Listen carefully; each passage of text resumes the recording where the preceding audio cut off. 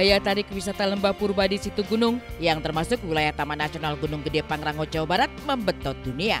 Tempat wisata yang menyuguhkan pemandangan alam hutan hujan tropis semakin memikat wisatawan dunia setelah salah satu wahana bernama Keranjang Sultan berhasil mencuri perhatian aktor Hollywood Will Smith. Bermula dari unggahan video milik akun Ed Asep Mulyana Adam yang menampilkan betapa begitu menantangnya duduk di kursi rotan yang digantung sambil melewati aliran sungai dan pemandangan hutan, ternyata membuat pemeran film Bad Boys itu terpikat. Saking penasaran, pasangan jada Pinkett Smith itu sampai bertanya di mana lokasinya sembari menandai unggahan video tersebut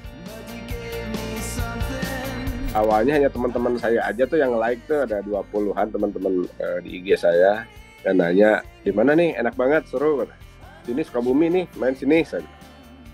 Dan udah pas di sekitar 200 yang nge-like langsung banyak tuh. Dan datangnya dari orang luar semua. Dan banyak yang nge-DM oke orang luar semua bahasa Inggris dan wah kok rame gini? Saya bilang. Dan langsung itu oh, tinggi banget tuh follower saya dari asalnya seribu jadi sepuluh ribu waktu itu. Ya cuma nanya di mana itu aja udah jadi luar biasa dan mudah-mudahan uh, banyak seleb-seleb luar, bukan seleb juga seleb lokal di Indonesia juga ikut mempromosikan wisata-wisata yang da, yang ada di Indonesia. Tapi emang gokil ya Will Smith nih. Kalau kita bayar postingan dia berapa ratus juta cuy sekali posting, makanya kan dari posting harus kita langsung bebenah. Siapa tahu kan uh, wisatawan mancanegara mau datang gitu itu juga buat jadi devisa negara kan juga bagus.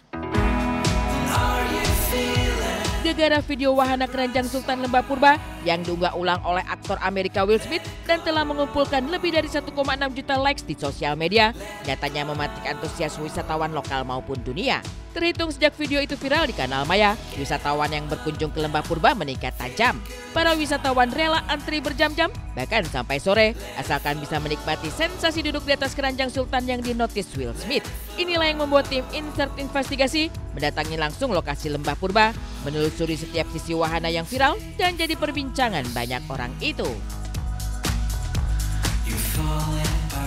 Ya pemirsa Insert, saat ini saya sudah di wahana yang viral banget di Lembah Purba ini. Jembatan uh, atau gantungan Sultan yang saat ini ramai di postingannya Will Smith. Dan di belakang saya saat ini sudah ada antrian dari para wisatawan yang mengantri berjam-jam hanya untuk menaiki wahana gantungan Sultan ini. Dan sebentar lagi saya dan tim Insert akan uh, mencoba menaiki gantungan Sultan.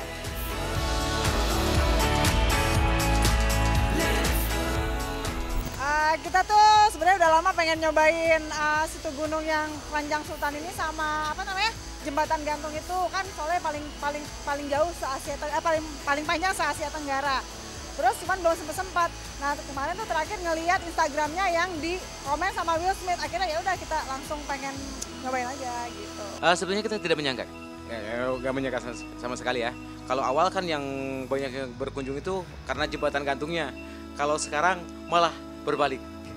Jadi yang dulu-dulu jembatan gantung antrinya karena foto-fotonya lambat, sekarang yang di jembatan gantung cepat, yang di keranjang sultannya. Jadi uh, kalau dulu kan mengalir gitu ya, jadi uh, lambat di sini, terus di sananya kan bisa uh, mengatur juga. Kalau sekarang di sini cepat, di sananya kan tuh antrian akan semakin bertambah bertambah bertambah makanya sampai jam 7 atau jam 8 malam masih ada karena kan saking penasaran juga mungkin mereka uh, dari luar kota ke sini untuk uh, menikmati keranjang sultan itu sendiri kakak.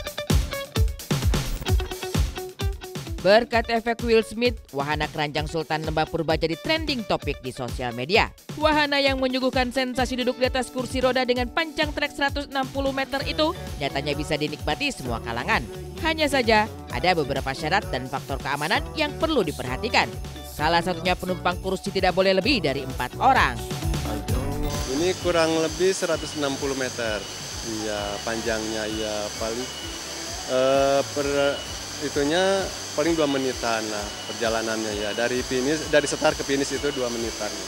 Ini kan sekarang ada dua jalur ya yang satu empat yang satu empat jadi delapan ya. Cuman kita nggak berputar jadi yang satu naik yang satu turun. Untuk berat badan eh, minimal 150 kilo ya. Terus eh, kalau yang itu eh, di atas 150 mungkin kita nggak bisa paling bawahnya dua gitu. Aman, karena kan di keranjangnya sendiri atau di kursinya sendiri itu udah dipasangkan safety belt. Jadi sebelum berangkat atau dijalankan itu akan kita pastikan dulu untuk pemasangan safety beltnya. Ya pemirsa, nih sekarang aku udah mau naik nih ya. Makasih Bapak. Aduh. Oke, tapi ini duduk biasa aja ya Pak. Ya pemirsa, ini tuh seru banget karena di uh, kita bisa menikmati pemandangan dan juga gemercik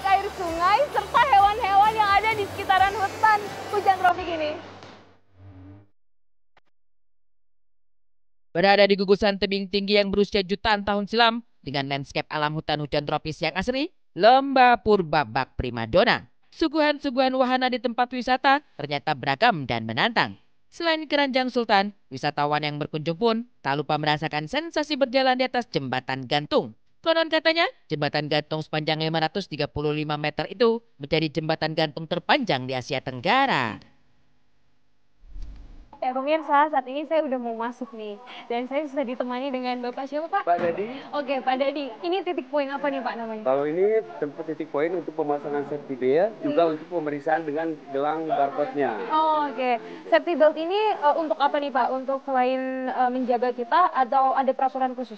Jadi untuk ini ya, untuk emergensinya juga ya. Jadi kalau misalkan untuk melewati jembatan, kita diharuskan untuk memakai safety belt. Hmm. Jadi safety belt ini fungsi dan kegunaannya hanya untuk jaga-jaga saja kayak. Hmm. Jadi kalau keadaan darurat yang namanya faktor alam itu kapan terjadi kita nggak tahu. Oke. Jadi kakak tinggal tekan kelabinan ini cara bukanya kan versinya berbeda-beda. Hmm. Kalau yang seperti ini tinggal diputar ke kiri, kemudian tekan, keluarin dari sini. Kita langsung kaitkan ke wire yang ada di samping kiri ataupun Oke. kanannya. Itu pun kalau keadaan darurat saja. Hmm, oke. itu, Kak. Kalau itu sekarang saya mau pakai itu Pak, Boleh. karena saya mau ke sana. Boleh, kakak. Kita pasangkan boleh? Boleh ya? Izin ya. Oke, tapi ini untuk pengamanan dan juga emergensi ya Iya, Pak ya? emergensinya. Hmm.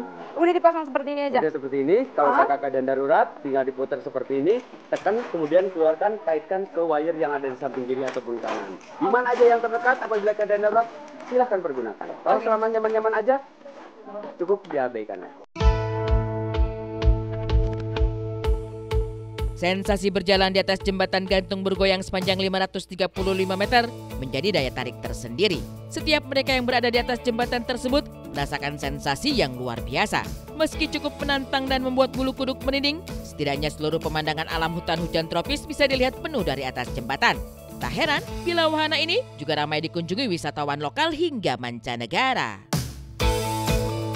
Ya pemirsa jembatan ini benar-benar goyang banget. Setiap langkah yang kita eh, pijakan benar-benar harus menjaga keseimbangan. Dan yang pastinya ini sangat menguji adrenalin karena kalau pemirsa lihat ke bawah arahnya ini tuh bener-bener tinggi banget. Dan ya sangat apa ya menantang adrenalin kita untuk lebih wah seperti ini nih goyang banget nih pemirsa nih dan orang-orang di belakang saya wisatawan wisatawan lain jalan tuh bener-bener pelan-pelan banget karena memang segoyang itu jembatannya.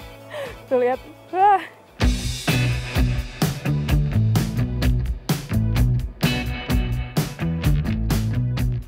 Wah, selain pemandangannya keren banget dan saat ini posisi saya udah benar-benar berada di tengah jembatan eh, Lembah Purba. Dan selain tinggi jembatan ini punya view yang bagus banget pemirsa karena di bagian sana itu benar-benar hutan hujan tropis. Kita tanya-tanya yuk sama pengunjung yang baru aja sampai dan mau istirahat.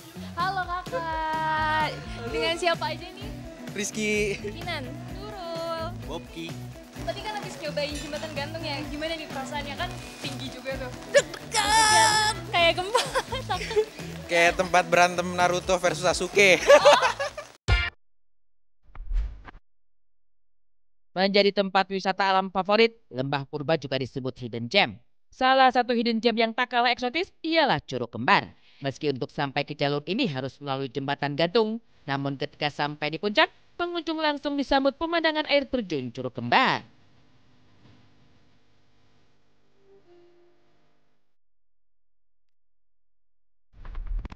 Terlepas dari pesona wisata lembah purba yang viral, seperti apa juga momen Ingrid Kansil bertemu anak semata wayang di momen lebaran?